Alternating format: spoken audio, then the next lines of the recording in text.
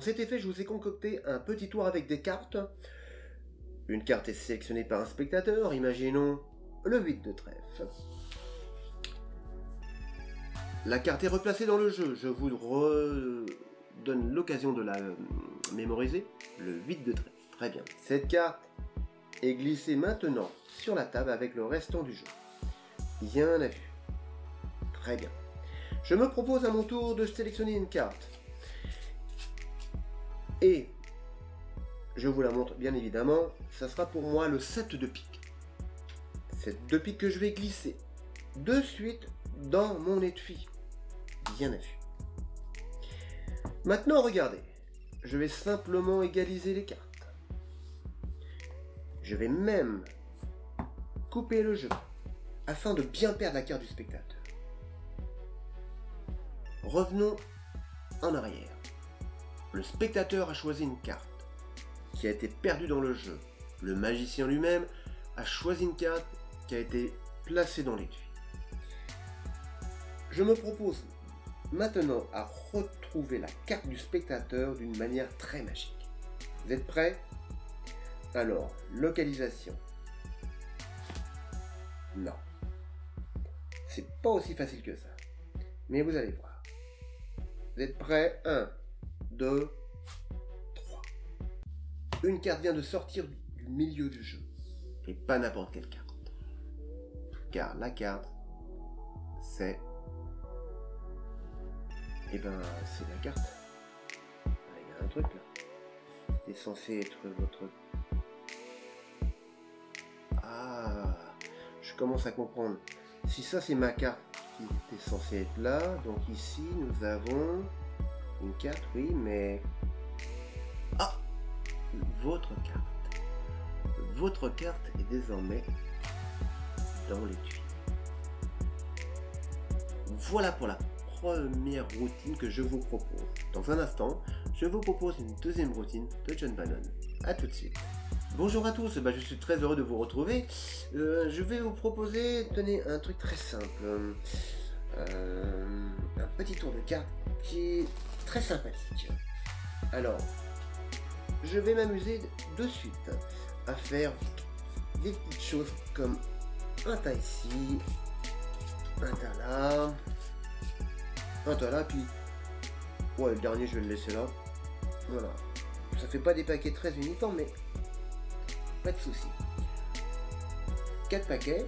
Le premier, euh, le premier, il a quoi lui? Le premier, il a. Ah bah tiens, tenez un as, c'est pas. Un as, c'est. J'aime bien moi les as, pas vous? Euh, Ce que je vais faire, je vais le perdre. Ici, on a quoi? Ah bah un, autre as, c'est bien, c'est sympa. Oh bah, Yudo, c'est mon jour de chance. Qu'est-ce qu'on pourrait faire? Ah bah tiens c'est marrant, on pourrait faire un truc de genre... Euh, tiens je vais perdre les, as. Ouais tiens je vais mettre ça dessus. Ouais c'est pas, ouais, pas mal. Tiens je vais, le perdre aussi. Tac, ouais. Euh, et enfin celui-là, il n'y a pas d'as, hein, il n'y a que... Ouais le cœur. Moi c'est pas mal aussi. Hein. Je vais m'en perdre aussi le deux cœurs. Bon ici il n'y a pas d'as. Euh, ici, euh...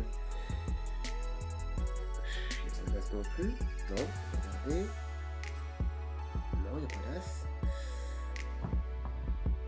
Les as ont été perdus, mais ils sont ni dessus ni dessous. Ah oui, je sais.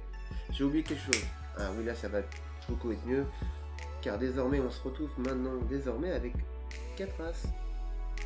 Ça Allez, pour terminer, je vous propose un tour exceptionnel. Un tour, un fameux classique de la magie, les as invisibles. Avec l'as de pique, l'as de cœur, l'as de trèfle et enfin l'as de carreau. Pour cet effet, je vais vous montrer la manière qu'utilisent les tricheurs dans le casino pour cacher les cartes. Et oui, il y a une manière, simplement en la mettant dans la main. Le problème c'est que ce n'est pas naturel et, de plus ça se voit. Et si c'est mal tenu, la carte tombe. Vous comprenez pourquoi les magiciens, eux, quant à eux, ont une méthode bien plus magique. Et surtout, invisible. Ils prennent la carte, euh, véritablement. L'avantage, c'est qu'au bout d'un moment, ils peuvent montrer les, deux côtés. Vous voyez? Et quand ça devient naturel, ils peuvent même écarter les doigts. Ce qui fait la différence avec le tricheur, c'est qu'au moment de déposer les cartes, ça se voit réellement. Ça vous a plu? Vous voulez en avoir encore un peu plus? Regardez, dosage d'un côté, je me propose de le refaire, mais cette fois-ci un peu plus lentement. La carte est reprise dans le jeu. Vous voyez, comme ceci. Voilà. Là, on peut ouvrir les mains, montrer des deux côtés. C'est au moment de déposer que ça se voit. Vous avez compris? L'As de pique est la carte la plus difficile parce qu'en son centre, le signe est beaucoup plus grand. Eh bien, ça n'est pas grave, car dans un instant, grâce au jeu de cartes, nous allons faire un exploit. Ici, je me retrouve avec l'As de cœur, l'As de trèfle et enfin l'As de carreau, que l'As bien a vu. Regardez, je mets le jeu ici, face vers vous. Je prends mon dernier As, je le passe à travers le jeu. Aussitôt passé, aussitôt transformé. Ici maintenant le 2 de trèfle.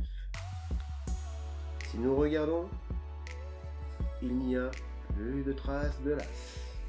Et pourtant, rappelez-vous, sur la table, désormais se trouvent quatre cartes, et pas n'importe lesquelles. L'as de trèfle, l'as de cœur, l'as de pique, et enfin l'as de carreau.